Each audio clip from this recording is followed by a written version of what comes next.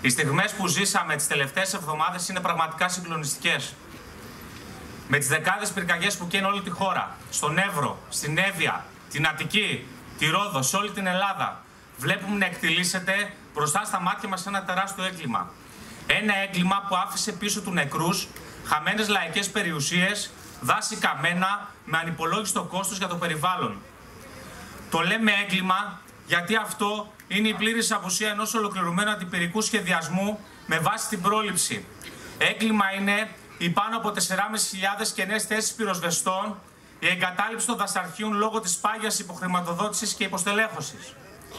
Με το ξέσπασμα των πυρκαγιών σε όλη τη χώρα, εκατοντάδες χιλιάδες στρέμματα εκτάσεων έγιναν στάχλοι και αποκαίδια. Στο βωμό επιλέγουν να κάνουν business με βαριές συνέπειες στο φυσικό περιβάλλον και στην ανθρώπινη αξιοπρέπεια. Οι πυρκαγιές μας θυμίζουν και τον υπαρκτό κίνδυνο ενός σοβαρού βιομηχανικού ατυχήματος και ιδιαίτερα σε βιομηχανικές περιοχές όπως εδώ στη Σύνδο, το Κιλκή και δεκάδες άλλες βιομηχανικές περιοχές της χώρας, όπου συγκεντρώνεται μια σειρά από προποθέσει για να συμβεί κάτι τέτοιο. Αναφερόμαστε σε περιοχές όπου συγκεντρώνονται δηληστήρα αργού πετρελαίου, εγκαταστάσεις αποθήκευσης καυσίμων, χημικές βιομηχανίες με χρώματα, πλαστικά, χημικά, λιπάσματα και τομοκτώνα, αποθήκες με διάφορα έφλεκτα υλικά και εργοστάσια ανακύκλωσης. Με την εγκληματική πολιτική όλων των κυβερνήσεων επιτρέπεται τέτοια εργοστάσια να βρίσκονται ακόμα και μέσα στον αστικό ιστό, δημιουργώντας ένα επικίνδυνο μείγμα που μπορεί να έχει και εφιαλτικές συνέπειες.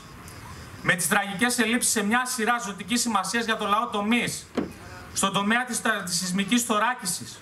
Χαρακτηριστικό είναι το παράδειγμα ότι μέχρι και τώρα, ένα μήνα πριν, έχει αρχίσει η νέα σχολική χρονιά. Πάνω από 9.000 σχολεία που έχουν χτιστεί από την περίοδο του 1960 μέχρι το 1985 δεν έχουν ελεγχθεί ποτέ.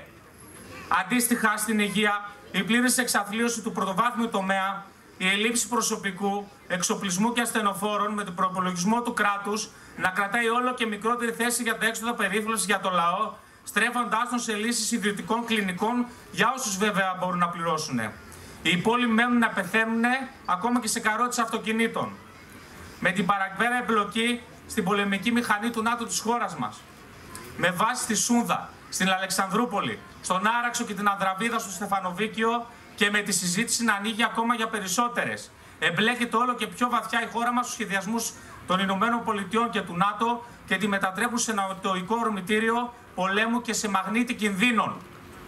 Καμία ασφάλεια και κανένα όφελος δεν έχει ο λαός και η εργατική τάξη με την εμπλοκή της χώρας μας σε πολεμικούς σχεδιασμούς, στέλνοντας υλικό έξω από τα σύνορα και επιβαρύνοντας το λαϊκό πορτοφόλι με υπέροκα ποσά έως και 4 δισεκατομμύρια ευρώ για νατοικού εξοπλισμούς. Κανένα φυσικά όφελος δεν έχει ο λαός της χώρας μας από τη διαχείριση του φυσικού της πλούτου με αστικές τάξεις άλλων χωρών.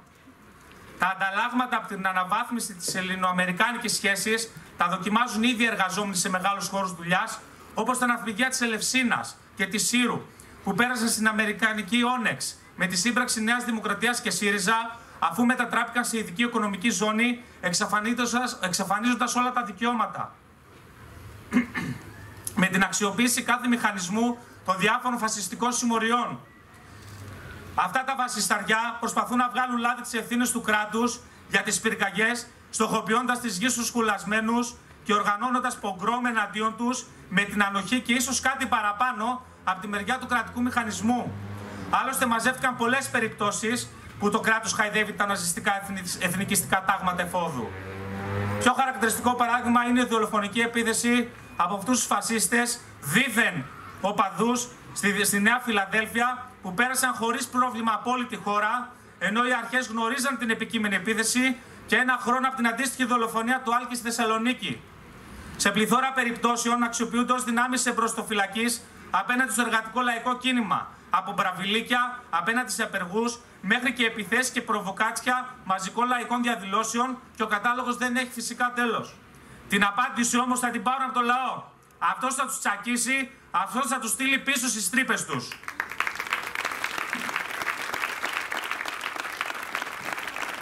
Όλες αυτές οι στιγμές επιβεβαιώνουν πως δεν έχουμε να περιμένουμε τίποτα. Να ελπίζουμε σε τίποτα από ένα κράτος βαθιά εχθρικό και αντιλαϊκό. Ένα κράτος που είναι αποτελεσματικό όταν πρόκειται να διαφυλάξει τα κέρδη των λίγων, αλλά αναποτελεσματικό για την εξασφάλιση των αναγκών του λαού. Ένα κράτος γρήγορο όταν πρέπει να προασπίσει τα συμφέροντα των εκμεταλλευτών, αλλά εξαιρετικά αργό όταν κινδυνεύουν οι ζωές και οι περιουσίες των πολλών. Είδαμε αυτό το επιτελικό κράτος να κινητοποιεί δημιουργίες των ΜΑΤ για την κινητοποίηση σωματείων ενάντια στο νομοσχέδιο που έγινε το προηγούμενο διάστημα εδώ στο Υπουργείο Μακεδονίας Τράκη, αλλά λίγες μέρες αργότερα επέτρεψε ένα κομβόι με οπλισμένους φασίστες να κάνει παρέλαση στη μισή Ελλάδα. Αυτό το κράτος βρίσκεται απέναντί μας. Συναδέλφες και συνάδελφοι, πριν λίγες μέρες κατατέθηκε για δημόσια διαβούλευση ένα νομοσχέδιο που βρωμάει μεσαίωνα.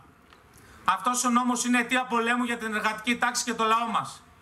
Το νομοσχέδιο είναι, είναι η νομιμοποίηση της ακόμα μεγαλύτερης εκμετάλλευσης των εργαζόμενων που οι ίδιες οι κυβερνήσεις της Νέας Δημοκρατίας, του Πασόκ και του ΣΥΡΙΖΑ έθρεψαν. Άλλωστε, αυτή την οδηγία για δουλειά σε πολλούς εργοδότες την υπέγραψαν στην Ευρώπη όλοι μαζί. Η Νέα Δημοκρατία, ο ΣΥΡΙΖΑ, ακόμα και οι φασίστες της Χρυσής Αυγής. Έρχεται να προσθεθεί μάλιστα στις δεκάδες μορφές ευέλικτης απασχόλησης που υπάρχουν ήδη και έχουν ως αποτέλεσμα ιδίως στις τρεις προσλήψεις κάθε έτος να είναι ευέλικτες, να έχουμε πάνω από 6.000 απολύσεις εργαζόμενων καθημερινά. Συμπληρώνεις τις αντιδραστικές διατάξεις του νόμου Χατζηδάκη για τη διευθέτηση του χρόνου εργασίας με στόχο την πλήρη κατάργηση του 8ωρου, πενθήμερου, 40ωρου. Η κυβέρνηση νομοθετεί το δικαίωμα στους εργοδότες να ξεζουμίζουν τους εργαζόμενους με 13 ώρες δουλειά την ημέρα, 78 ώρες δουλειά την εβδομάδα σε πάνω από έναν εργοδότη. Ομολογεί έτσι ότι πρέπει οι δύο ενήλικοι γονείς, για παράδειγμα, να δουλεύουν 26 ώρες το 24ωρο. Αυτή είναι η πρόοδός τους. Είναι πρόοδος και εξέλιξη εργασία 13 ώρες την ημέρα. 150 χρόνια περίπου μετά την καθιέρωση του 8ωρου. Είναι πρόοδος ο εργαζόμενος να δίνει 5 επιπλέον ώρες από τη ζωή του στα αφεντικά, 5 επιπλέον ώρες από την ξεκούρασή του, από την ψυχαγωγία του, από την ενασχόληση με την οικογένειά του.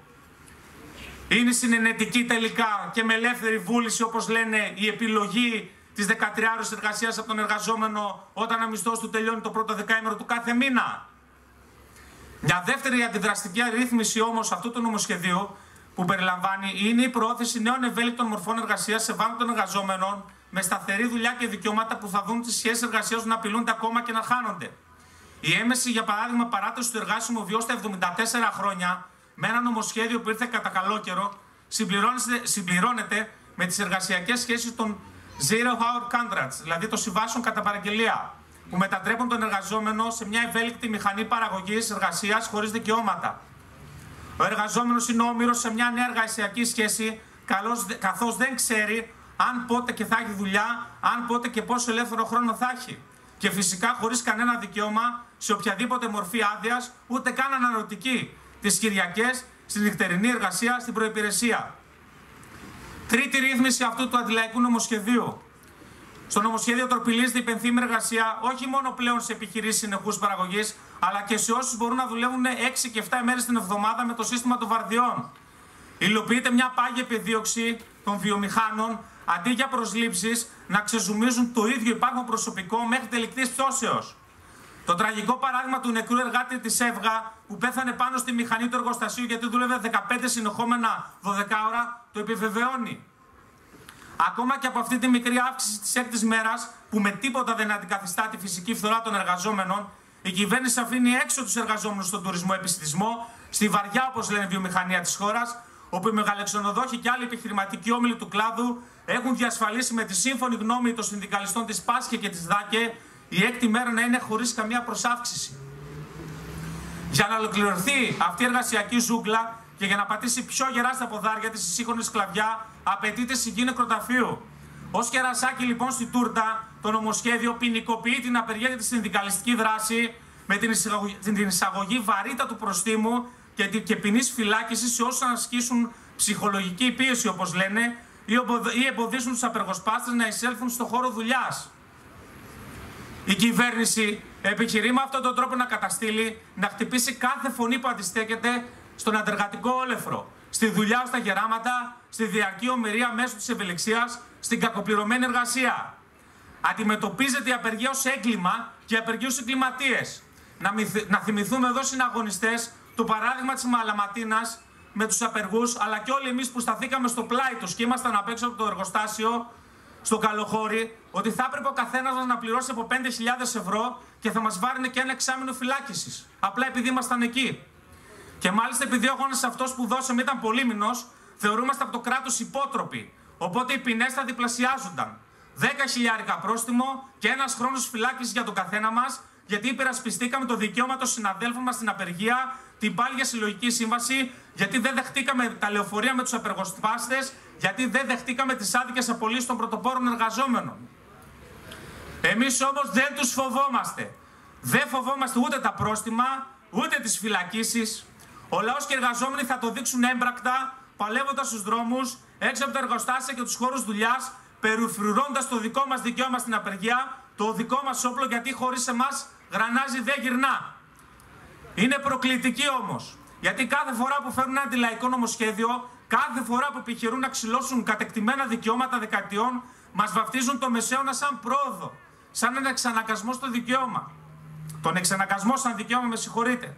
Τα ίδια ακούμε κάθε χρονιά από όποιον είναι στην κυβέρνηση, από όποιον είναι αξιωματική αντιπολίτευση από το, βήμα, από το βήμα της ΔΕΔ. Θέλουν ο λαός να πιστέψει πως η αντιλαϊκή λέλαπα που φέρνουν είναι η καλύτερη λύση στα προβλήματά του. Η μόνη εναλλακτική πως αυτή είναι η κανονικότητα. Η κανονικότητα αυτή που προσπαθούν να μας επιβάλλουν έχει όνομα. Είναι αποκρουστικότατη. Η κανονικότητα αυτή υποτάσσει ένα στους τέσσερις εργαζόμενους να παίρνουν λιγότερα από το κατώτατο μισθό. Ο πληθωρισμός στα τρόφιμα και την ενέργεια είναι σταθερά σε διψήφιο αριθμό και φτάνει τώρα το 10,8. Τα λαϊκά νοικοκυριά έχουν φτάσει πλέον στο σημείο να δαπανούν για φαγητό και στέγαση το 60% του εισοδήματός τους. Συνολικά δηλαδή έγινε αύξηση των τιμών των τροφίμων κατά 25% σε μόλις δύο χρόνια, από το Μάιο του 2021 μέχρι το Μάιο του 2023. Ταυτόχρονα, μια νέα φορολογική καταιγίδα έρχεται το αμέσως επόμενο διάστημα, αφού φέτος πλήρωσε ο λαός ήδη πάνω από 17 δισεκατομμύρια σε έμεσους φόρους. Η μισθή λοιπόν στον πάτο, ευέλικτη δουλειά και ανυπαρξία συλλογικών συμβάσεων εργασίας. Και αυτά την ίδια περίοδο που η κυβέρνηση και οι επιχειρηματικοί όμιλοι διαφημίζουν την προσέγγιση της επενδυτικής βαθμίδας, τις καλές ειδήσεις για τα κρατικά έσοδα και τελήματα που περιορίζεται και ούτω καθεξής. Είναι καλά νέα αυτά λένε. Δεν πρέπει όμως να τους δώσουμε ούτε ένα λεπτό αναμονής. Για όλες αυτές τις εξελίξεις που αφορούν το σύνολο της ζωής μας, το φετινό συλλαλητήριο της ΔΕΘ αποκτά ακόμα μεγαλύτερη σημασία. Γιατί δεν επιτρέπεται να αποδεχτεί κανένας εργαζόμενος, κανένας νέος και νέα το σύγχρονο μεσαίωνα που φέρει το νομοσχέδιο για τα εργασιακά. Καμία ανοχή στη σύγχρονη βαρβαρότητα της καπιταλιστικής σκλαβιάς. Δεν ζούμε για να δουλεύουμε. Δουλεύουμε για να ζούμε και να απολαμβάνουμε όλα τα αγαθά της σκέψης και της εργασίας μας. Όλοι οι εργαζόμενοι να μάθουν την αλήθεια μέσα από τη συζήτηση στις γενικές συνελεύσεις, στις συσκέψεις σε όλους τους κλάδους και στους χώρους δουλειάς. Να μην περάσει η προπαγάνδα της κυβέρνησης και των εργοδοτών. Για να μην επιτρέψουμε να περάσουν στους εργαζόμενους η λογική πως έτσι είναι η ζωή, ότι αυτή είναι η μόνη πραγματικότητα και ότι μπορούν να περιμένουν σε κάτι καλύτερο.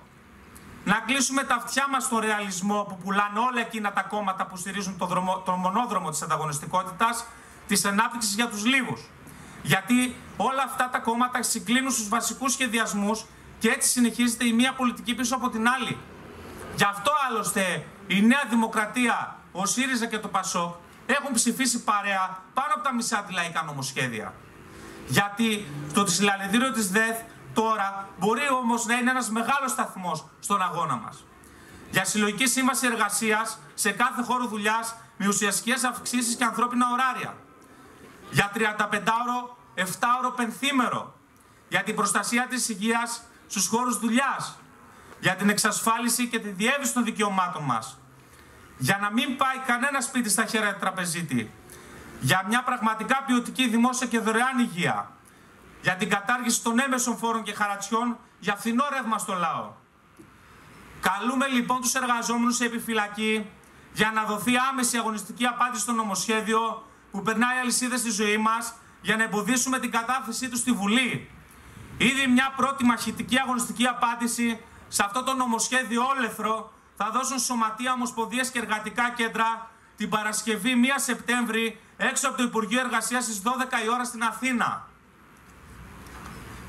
Γι' αυτό λοιπόν χρειάζεται το εξής σύνθημα. Όλοι στα σωματεία μας, όλοι στον αγώνα. Να σημάνει συναγερμός. Η δύναμη του λαού, αν αποφασίσει να παλέψει, είναι φυσικά ανεξάντλητη. Η πραγματική λύση για τους εργαζόμενους, για όλο το λαό, είναι η μαζικοποίηση των σωματείων τους. Η οργάνωση και αγώνα ενάντια σε αυτούς που μας, μας βρίζουν τη ζωή. Από σήμερα και όλα καλούμε όλα τα διοικητικά συμβούλια των κλαδικών και των επιχειρησιακών σωματείων σε απόφαση συμπόρευσης και ξεσηκωμού. Βγαίνουμε όλοι στους δρόμους, στους χώρους δουλειάς, ενημερώνουμε τους συναδέλφους και οργανώνουμε την αντεπίθεση μαζί τους. Τα συνδικάτα μας να γίνουν επιτελεία μάχης, με χιλιάδες μέλη σε κάθε χώρο δουλειάς, με μάτια και αυτιά ανοιχτά, με ετοιμότητα να παρέμβουν άμεσα και αποτελεσματικά όπου χρειαστεί. Κεντράρουμε στον ένοχο, στην εργοδοσία που για τα κέρδη της ματώνει το λαό, στις κυβερνήσεις που μετατρέπουν τις ορέξεις των εργοδοτών σε νόμους, στις συμβιβασμένες ηγεσίες της ΓΕΣΕΕ που θέλουν τα συνδικάτα ξεδοντιασμένα ανήμπορα να αντιδράσουν. Γι' αυτό και μετά τις εξαγγελίες του Υπουργού στην ανακοίνωσή της για το νομοσχέδιο της κυβέρνησης δεν αναφέρει η ΓΕΣΕΕ ούτε μια φορά την παραπέρα της ποινικοποίησης απεργίας. Άλλωστε, στην ίδια γραμμή, ο πρόεδρος εδώ του δικού μας εργατικού κέντρου εδώ στη Θεσσαλονίκη, σε πρόσφατη συνέντευξή του, αποδείχτηκε μέγας υπερασπιστής αυτών των ευρωπαϊκών οδηγιών. Μας είπε πως οι συγκεκριμένες αντεργατικές ρυθμίσεις είναι υποχρεωτικές από την Ευρωπαϊκή Ένωση για να μην επιβάλλονται πρόστιμα στη χώρα μας. Άρα, ό,τι είναι να γίνει θα γίνει. Σπέρνοντας έτσι τη μυρολατρεία και την αναμονή. Πως δεν γίνεται να δουλεύουμε 16ωρο, γιατί μας προστατεύει το Ευρωπαϊκό Δίκαιο, λέει, που επιτρέπει την ημερήσια εργασία μόνο 13 ώρες. Λες και αυτό το πράγμα είναι πρόοδος. Οι εργαζόμενοι όμως δεν έχουν να περιμένουν τίποτα από όσους λιβανίζουν την Ευρωπαϊκή Ένωση, που με τις κατευθύνσεις της ενισχύει τις κυβερνήσεις για να ξεριζώσουν τα δικαιώματα των δεκα... δεκαετιών. Δεν έχουν τίποτα να περιμένουν από τις ηγεσίες της ΓΕΣΕ και του Εργατικού Κέντρου Θεσσαλονίκης, που μπροστά στον εργασιακό μεσαίωνα θέλουν απλά διαβουλεύσεις. Στον πόλεμο λοιπόν που κήρυξε η κυβέρνηση και η επιχειρηματική όμιλη, απαντάμε άμεσα χωρίς να χάνουμε χρόνο. Σε αυτά τα πλαίσια, συνάδελφοι, σας καλούμε στην ημερίδα που διοργανώνει το ΠΑΜΕ την 5η 7 Σεπτέμβρη στις 7.30 ώρα στο Δημαρχείο της Θεσσαλονίκης με θέματα εργατικά ατυχήματα και τις εργατικές ασθένειες. Γιατί πραγματικά οι χώροι δουλειάς έχουν γίνει καρμανιόλες με εκατοντάδες νεκρούς και σακατεμένους κάθε χρόνο. Με κορύφωση φυσικά το γνωστικό συλλαλητήριο της ΔΕΘ το Σάββατο 9 Σεπτέμβρη στις 5.30 ώρα στην πλατεία Χάνθ να είναι μια ακόμη απάντηση των εργαζόμενων και του λαού απέναντι στην εργοδοσία, την κυβέρνηση και τα κόμματα που υπηρετούν την ίδια πολιτική. Να είναι ένα ακόμα βήμα για να εξασφαλίσουμε πως το νέο αντεργατικό τερατούργημα δεν θα κατατεθεί προς ψήφιση στη Βουλή. Ελπίδα μας συναγωνιστές και συναγωνίστριες είναι η οργάνωση, ο αγώνας, η συσπήρωση στα σωματεία μας, η διεκδίκηση των δίκαιων μας, των σύγχρονων αναγκών μας. Γιατί σήμερα το 2023 υπάρχουν όλες οι προϋποθέσεις να ζήσουμε πολύ καλύτερα.